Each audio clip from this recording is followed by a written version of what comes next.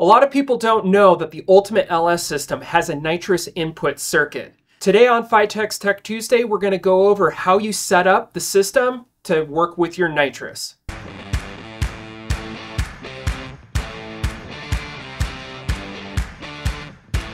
So traditionally when you get the Ultimate LS system, you got your accessory wiring connections.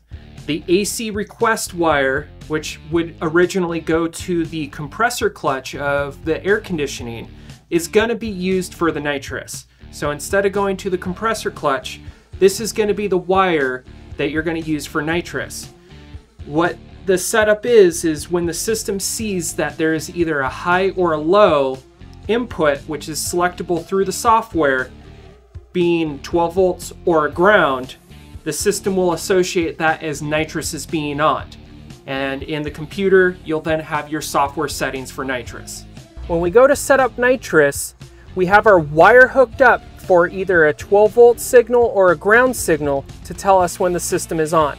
In the handheld, the menu selection for the nitrous will be under FiTech Initial Setup, and then we'll scroll down and we'll find NO2 options AC disabled.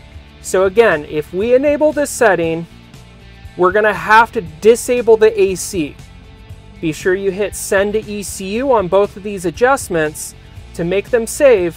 But at that point, when that signal, you're gonna have your different stage fuel and AFR adjustments. So the fuel will be additional fuel you add to the engine initially to get the air fuel ratio where you want it.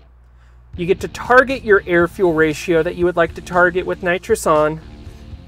And then you have your nitrous stage one retard for ignition timing. So you could pull a set amount of ignition timing.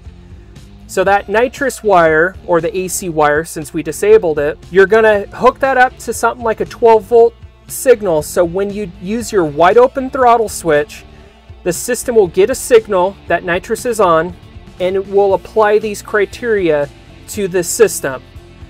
Once you got that set, your nitrous is ready to rock and roll and you're ready to drive the LS system with nitrous.